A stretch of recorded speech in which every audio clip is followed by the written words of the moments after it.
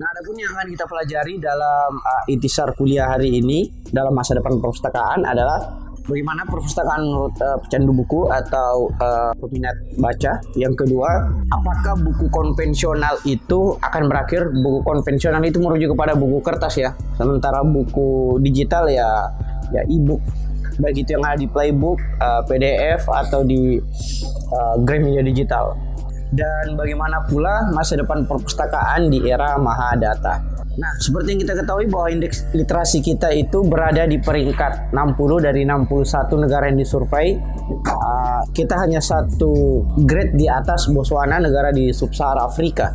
Jadi indeks literasi kita itu sangat rendah. Di saat yang bersamaan, konsumsi digital kita itu begitu tinggi yaitu rata orang Indonesia itu menghabiskan 7 jam 42 menit setiap harinya di depan layar atau durasi layarnya kurang lebih 7 sampai 42 menit menurut data dari We Are Social. Sehingga ketika indeks literasi kita itu rendah sementara konsumsi digital kita begitu tinggi melahirkan generasi yang dangkal atau apa yang oleh Nicholas Carr sebut sebagai the shallow. The shallow itu merujuk kepada cara berpikir yang dangkal, yaitu cara berpikir yang sukanya informasi-informasi yang instan, informasi yang cepat, informasi yang sifatnya individu. Nah, apa yang harus kita lakukan terhadap kondisi atau realitas uh, literasi kita saat ini? Untuk lebih jelasnya kita uh, paparkan dulu mengenai uh, apa sih urgensi kita melakukan giat-giat literasi baik itu membaca ataupun menulis. Walaupun sebenarnya literasi itu bukan sekedar uh, kemampuan membaca dan menulis. Literasi itu menjadi semakin luas lagi. Literasi itu pada dasarnya adalah kesadaran kritis kita baik itu dalam membaca maupun menulis, berhitung termasuk pula literasi digital. Nah, ada bahasa Latin yang berbunyi die scripta manen atau terjemahan bebasnya dalam bahasa Indonesia itu adalah perkataan itu lenyap sementara tulisan itu abadi. Di sini saya jelaskan bahwa Tuhan pun itu sebenarnya menulis. Dalam artian, misalnya Tuhan menulis dalam tanda kutip tentunya itu di Lauful Mahfuz atau kitab induk atau kitab kejadian. Di seluruh kejadian kita itu sebenarnya sudah tertulis di Lauful Mahfuz. Nah, Al-Quran pun juga itu merupakan tulisan. Tulisan yang mana firman Allah Subhanahu wa taala yang dibacakan oleh Nabi kepada sahabatnya dan berdasarkan perintah Nabi, firman-firman Allah Subhanahu wa taala yang dibacakan oleh Nabi Shallallahu alaihi wasallam tersebut itu kemudian dibukukan atau ditulis. Dulunya masih di pelepah kurma, ada di kulit binatang dan kemudian berkembang sampai Al-Quran yang kita baca sekarang ini baik itu Al-Quran konvensional maupun Al-Quran digital. Nah lebih lanjut perintah pertama di dalam Islam itu adalah perintah membaca. Iqra bismika rabbi. Jadi eh, tidak ada alasan bagi kita untuk tidak membaca karena perintah yang pertama turun saja itu adalah membaca. Bahkan lebih lanjut di ayat-ayat selanjutnya setelah perintah membaca itu Allah Subhanahu wa taala juga mengajarkan kita bahwa Allah itu mengajarkan melalui perantaraan kalam atau pena sehingga literasi menjadi sesuatu yang memiliki uh, fondasi spiritual dalam artian ayat pertama turun tersebut. Kemudian kalau memang dalam Islam literasi atau tradisi baca tulis itu begitu ditekankan, mengapa Nabi Shallallahu Alaihi Wasallam itu tidak menulis. Ada buku yang menarik yang membahas tentang ini. Buku itu ditulis oleh Murtada Mutahari yang berjudul Sekolah Ilahi. Nah, di dalam Sekolah Ilahi uh, Murtada Mutahari menjelaskan bahwa ketidakmampuan Rasulullah SAW itu dalam membaca dan menulis itu bukanlah kekurangan, tetapi justru keutamaan atau kemudian. Kenapa? Karena uh, Allah Subhanahu wa taala ingin memurnikan seluruh ilmu pengetahuan yang ada di dalam benak uh, Sang Rasul sallallahu alaihi wasallam sehingga tidak ada satu literatur pun dalam pengetahuan Nabi Muhammad SAW yang datang di luar dari apa yang diajarkan oleh Allah Subhanahu Wa Taala.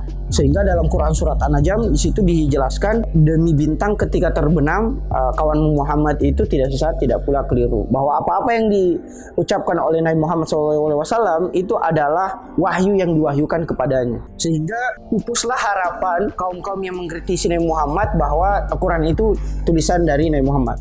Karena ya bagaimana mau menulis Nabi Muhammad saya tidak tahu membaca sehingga di sini kita garis bawahi bahwa ketidakmampuan Rasul SAW dalam membaca dan menulis justru keutamaan. Tetapi di saat yang bersamaan, karena kita tidak diajar langsung oleh Tuhan, itu artinya kita harus membaca dan menulis. Sehingga di luar dari Rasul SAW itu harus membaca dan menulis. Sehingga sahabat-sahabat Rasul itu diperintahkan untuk membaca dan menulis. Atau mungkin ada di sini teman-teman yang juga diajar langsung oleh Allah. Kalau ada juga yang diajar langsung oleh Allah, ya silahkan jangan membaca dan menulis. Tapi selama Anda memiliki dosa, itu artinya Nah, selama itu pula Allah tidak langsung mengajarkan Anda sehingga kita membutuhkan perantara dalam hal ini literasi. Nah, sehingga kita menyebutnya sebagai jihad literasi.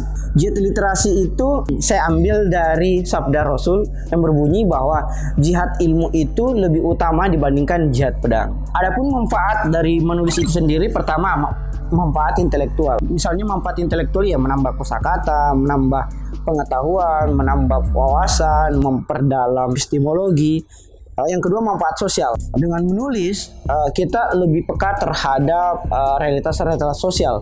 Banyak buku-buku yang coba mengurai tentang problematika sosial. Yang ketiga manfaat dari menulis adalah manfaat fisikal.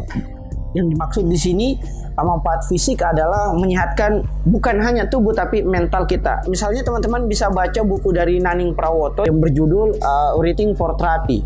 Di situ dijelaskan bagaimana menulis itu merupakan terapi baik bagi kondisi kesehatan tubuh Anda maupun mental Anda.